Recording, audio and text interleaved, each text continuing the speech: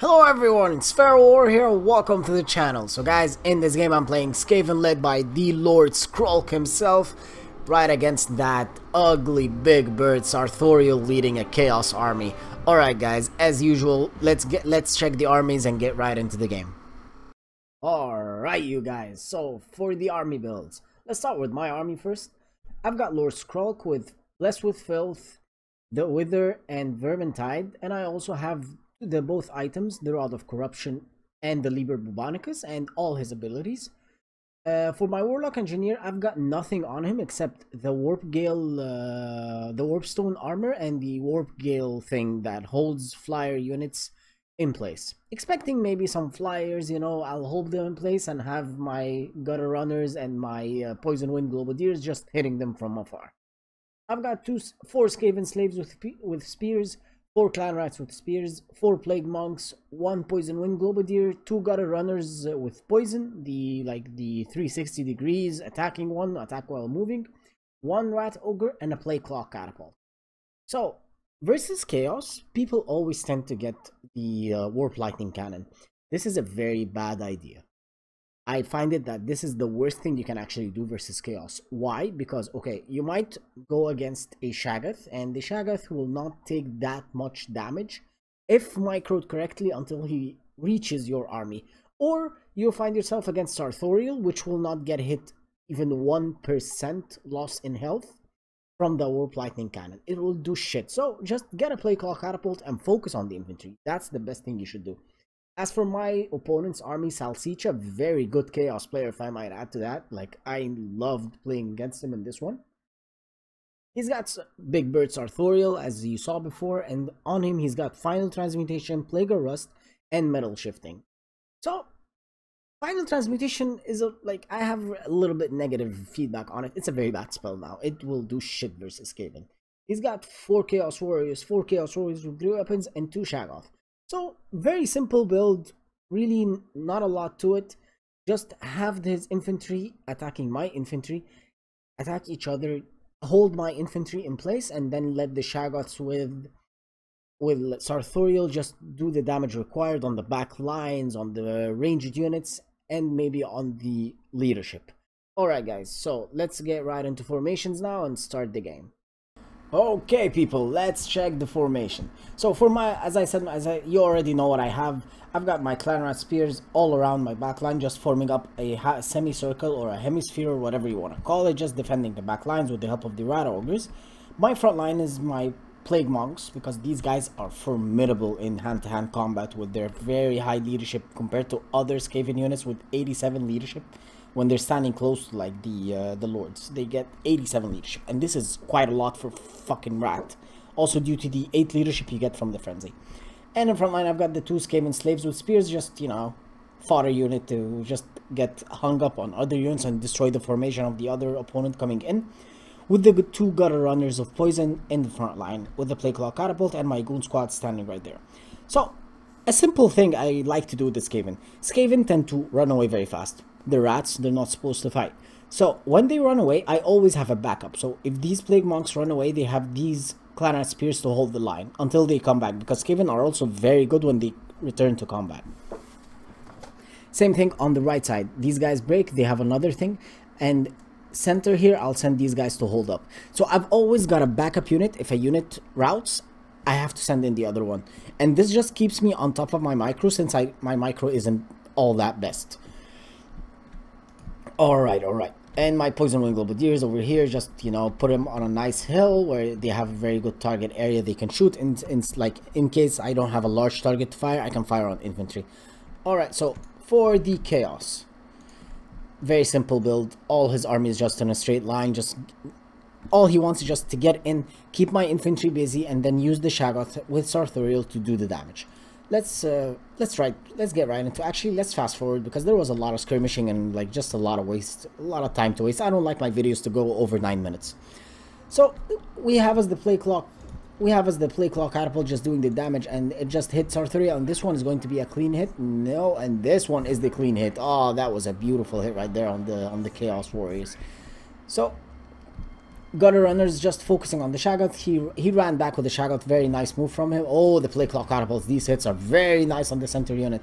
And the Gutter Runners are just poisoning all the line because he's keeping them very close together. So Gutter Runner, if one if one hit hits that Chaos Warriors, for example, all the units are just poisoned for some reason.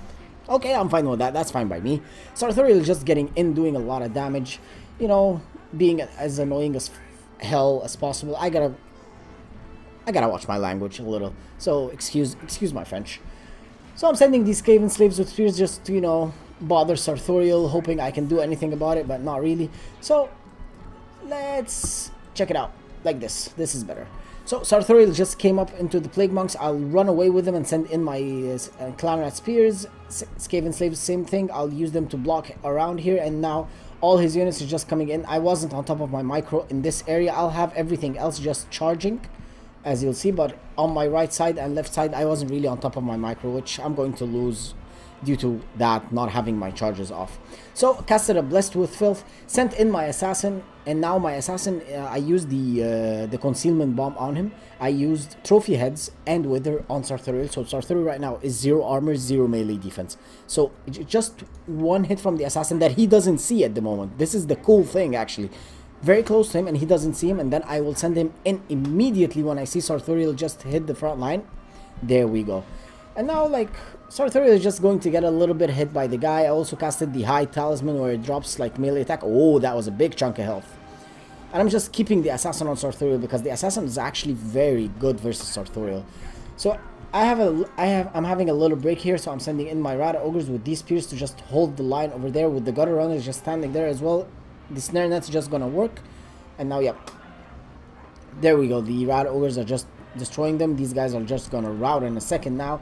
The assassin got a little bit yeah I got a little bit overzealous with him. He's getting damaged horribly by the dragon ogre shaggoth plus sarthorael. And there we go. As you see a unit routes. I send in another unit to back up. Until that unit regains its leadership. And that's so on and so forth through the game so as you can see, just the trickle damage on Sarthorael with the Gutter Runners. I just casted also Liber Bubonicus on him, which is doing a lot of good damage. And Rat Ogres with the Clanrat Spears, this is a very good combo. Rat Ogres holds the large units in place, and the Clanrat Spears just does a lot of damage. Blessed with Filth drop down. Casted the Stand Your Ground over there to keep my units fresh and good. Casted Blessed with Filth, and now I'm going to drop a Wither very soon as well. So the Shaggoth is hitting Lord Skrull. Skrull is very hard to hit by a Shaggoth, but still, my Poison Wind Globadiers have a very nice target right now on the Shaggoth, just doing the damage required. And as you've seen, his great weapons with the help of the Withering and the Plus with Filth, there's one, there's two, there's three, and the fourth is just, I'm not sure where the fourth, oh yeah, there's the fourth over there. So three units already routed, and my Plague Monks are actually quite good. Not, they're left with 25% health. And now, look what I've done. I've sent in my uh, Warlock Engineer in the center with the Gutter Runners because now all these guys are just slowed down as hell. Speed is 76. No, this is not slow. Yep, there we go. 58. So the Rat Ogres are doing the damage. Gutter Runners are hitting. Other Gutter Runners are hitting. Skaven Slaves with Spears just getting in to do the anti-large bonus damage they have. And Skrull is just there being as so annoying as he always is. Now let's continue. As you can see, it's just a whole fast butt the thing is, with the first charge, by using the Blessed with Filth and Wither, you can take down any high level armor unit down and just destroy it in a second. And there we go again. Casted another Wither. That's a minus 30 armor. So the Dragon Ogre Shaggoth is 40 armor only. So the Poison Wind Globadiers are doing a lot of good damage on him. I'm sending in my other units now. The ones that routed, the uh, Plague the Plague Monks, Skaven Slaves with Spears, Clan with Spears, and everything is just coming back to help out Skrull and just defend him. The Assassin was also coming back. I casted a Concealment Bomb on him. He's, he's gonna get in on Sarthorael. Actually, I think he's gonna catch him. Yeah, I think he's gonna catch him in a couple of hits there. Yeah, if I remember correctly, that was a nice hit right there. So he's both Shaggoth are hitting uh, Skrolk. Good idea. You want to take care of Skrolk very fast, but in the same time, these the Clanrat Spears, the Poison Wind Globadiers is just doing the damage required, and the Dragon Ogre Shaggoth with the help of the Clanrat Spears is just going to do a lot of damage on that Shaggoth. so as you can see, like for being a Chaos strong infantry line, it really got destroyed using the combo of the Blessed with Filth and the Wither. So first Shaggoth is already routing. My assassin is down for the count. He will not come back. Uh, Poison Wind Globadiers just standing there looking also nice, but still Sarthorael won't do a lot of damage on them because they have 100 armor. Gutter Runners are still being super annoying, just standing in the center there.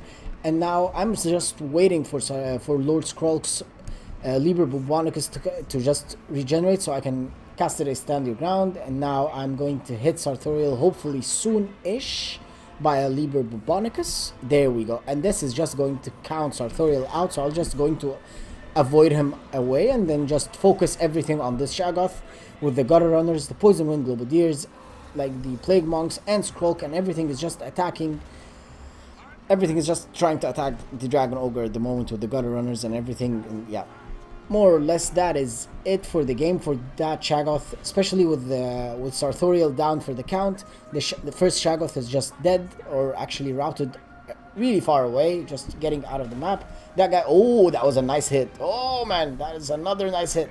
So yeah, my opponent's just noticing that he will not be able to continue the game. Just, you know, just the trickle damage from the Warlock Engineer, from a lot of spears, and still, like, just taking down Sarthorael using the Assassin, just hitting him a couple of hits, taking him down to like 30%, all that by the end of the game counted down to actually giving me a lot of value. So a lot of cheap units, cheap is the way to go with Skaven. Just don't get the high tier infantry unless you want to throw your opponent off. Other than that, very well played to Salsicha. I really enjoyed that game. Thank you guys for watching. And I hope I'll get to see you in the next video. Cheers and have a nice day.